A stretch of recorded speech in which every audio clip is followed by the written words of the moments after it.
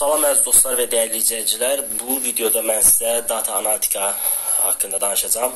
Dövrün ən çox tələb olunan sahələrindən biridir. Bir növ bir deyərdim ki, bir şirkətin beynidir, yəni sırf məlumatları analiz etmək, onları e, yaxşı qərarlar çıxarmaq, necə deyim, data toplamaq, analiz etmək və ə, həmin nəticədə əldə olunan məlumatlara əsaslanaraq bir növ qərarlar qəbul etmək deməkdir.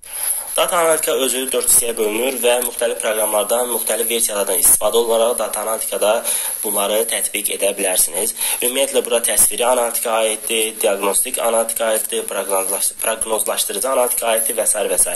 Yəni bunların adından göründüyü kimi əsasən təsviri analitikadır. Diaqnostik analitika əsasən e, keçmişdə baş verən e, məlumatları araşdırır və onlara əsasən müəyyən bir qərarlar qəbul edir.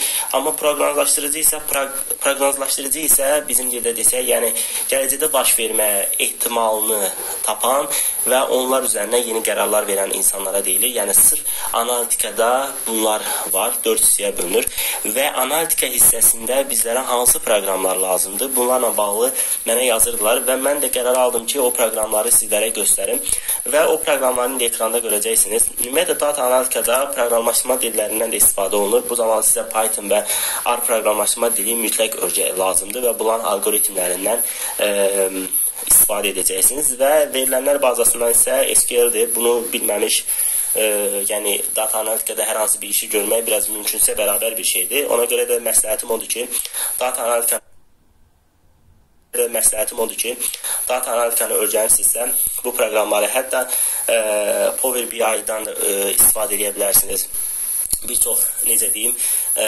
vizual ə, alətlərdən istifadə edərək data analitikada uğur qazana bilərsiniz. Ümumiyyətlə data analitika Azərbaycanda tam deyə bilmərəm, amma xarici sferada çox vacib olan sahələrdən biri olduğuna görə bir növ gələcəyin beynidir. Yəni biz ə, əsasən bir sahəyə gedəndə pul hissəsinə baxılır. Əlbəttə ki, bu sahədə də o var. Bu isə sizin e, necə deyim, düşüncə, məntiq bacarıqlarınızdan asılı olaraq dəyişir və hər hər kəs bu sahəni öyrənib, bu sahədə ixtisaslaşa, ixtisaslaşa bilər və bu sahə üçün lazım olan hər şey isə mən sizə kanalın aşağı hissəsində verəcəm və bunları necə öyrənmək lazımdır, hansı kanallardan orada hamısını təqdim edəcəm.